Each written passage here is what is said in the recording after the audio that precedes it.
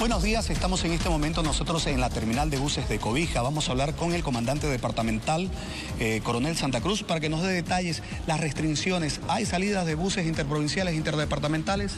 Eh, bueno, de acuerdo a los controles que estamos realizando en la terminal de bus de Cobija y de conformidad al decreto supremo, eh, a partir de hoy ya se restringen las salidas de buses de transporte de pasajeros interdepartamental, interprovincial e internacional. Para tal efecto, el personal de tránsito ha efectuado los controles correspondientes para dar cumplimiento al decreto supremo. Sin embargo, ¿qué pasa con aquellas eh, personas, vehículos particulares? Bueno, el decreto es claro, dice transporte de pasajeros público. En el caso de los particulares realizan muchas veces actividades en diferentes sectores, ellos pueden transitar, pero solamente en el horario.